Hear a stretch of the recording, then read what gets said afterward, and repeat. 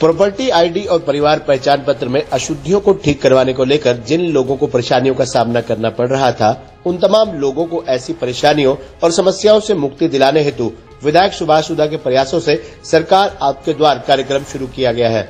इस कार्यक्रम के माध्यम से शहर के अलग अलग मोहल्लों में जाकर नगर परिषद और प्रशासन की तरफ़ से विशेष शिविर लगाए जा रहे हैं।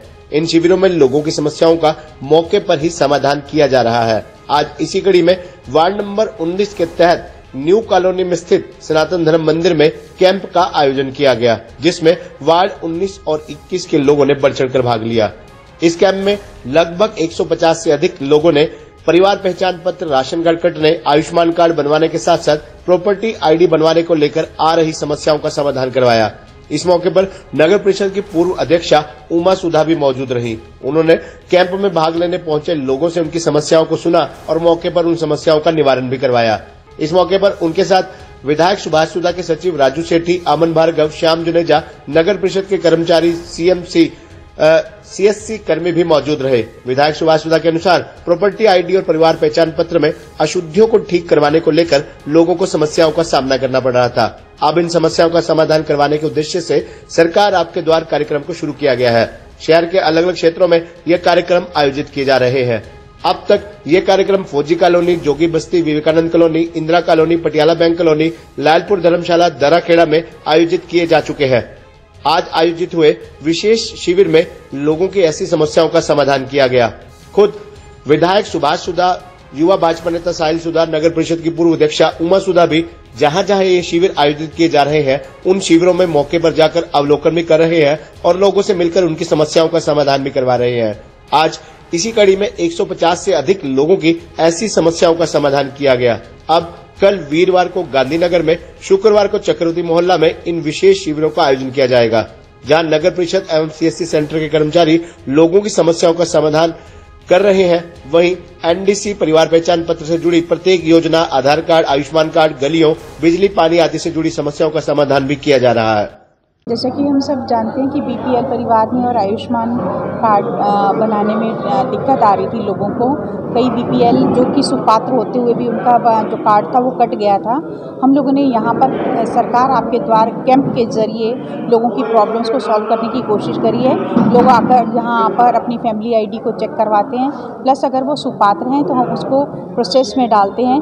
ऐसे कम से कम सौ, डेढ़ सौ लोग अभी यहाँ इस कैंप में आए हैं और इसका उन्होंने बेनिफिट लिया है, जिसमें से 10-20 के लोग के ऐसे कार्ड हैं जो साथ के साथ प्रोसेसिंग में आकर उनके कार्ड वापस बन गए हैं। तो ये बहुत ही मैं लोगों से भी रिक्वेस्ट करना चाहूँगी कि वो लोग आएँ और इस तरीके से इस कैंप का बेनिफिट लें ताकि जो दिक्कत उनको आ रही है कि जैसे उनके परिवार जो है, वो बीपीएल परिवार से का सुपात्र है और यहाँ पर उनका अगर नहीं बन पाया तो यहाँ आकर अपने अपडेट कराएँ।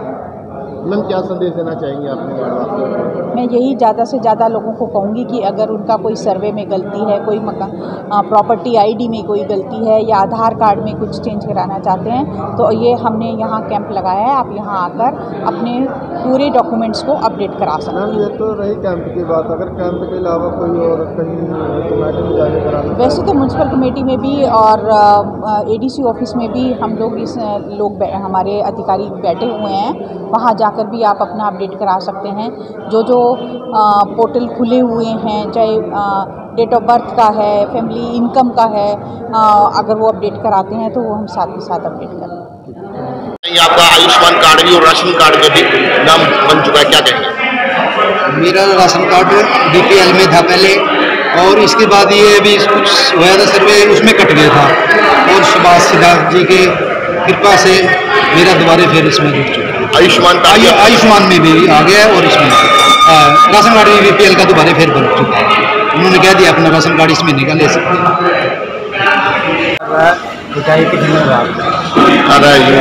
हमारा डिजिटल कार्ड बन चुका पिताई जी का। धन्यवाद।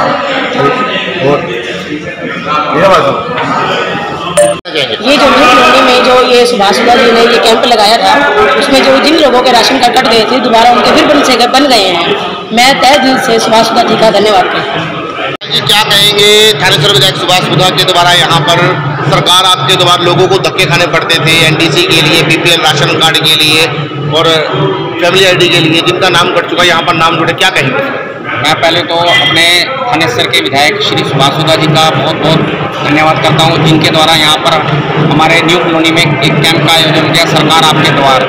इसमें लोगों को हम जैसे किसी का राशन कार्ड कट गया था, फैमिली आईडी में कोई दिक्कत आ रही थी, आयुष्मान के लिए लोग धक्के खा रहे थे, उनके लिए हमने कैंप लगवाया है, सुधा जी ने। यहाँ पर करीब डेढ़ सौ के करीब लोगों ने अभी इनका फ़ायदा उठाया है। ऐसे ही हम निरंतर ये कार्य करते रहेंगे। ज़्यादातर क्या समस्याएँ आ रही ज़्यादातर लोगों के राशन कार्ड में दिक्कत आ रही जो कट गए थे।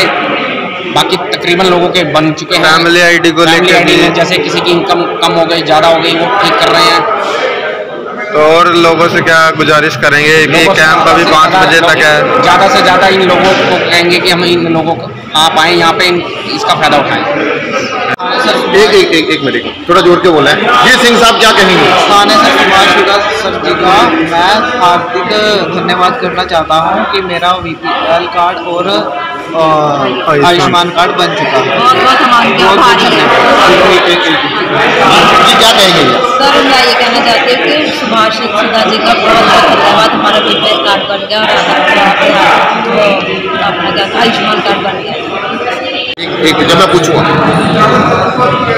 जी मैम क्या कहना चाहेंगे? आपका राशन कार्ड से नाम कट चुका था बन चुका और आयुष्मान कार्ड भी आपने अप्लाई कर दिया। क्या विधायक जी का मैं बहुत बहुत धन्यवाद करना चाहूँगी। हमारा पीला राशन राशन कार्ड बन चुका है और आयुष्मान कार्ड के लिए भी रिक्वेस्ट डलवा दिया है बन जाएगा और बीपीएल कार्ड बन चुका क्या कहेंगे?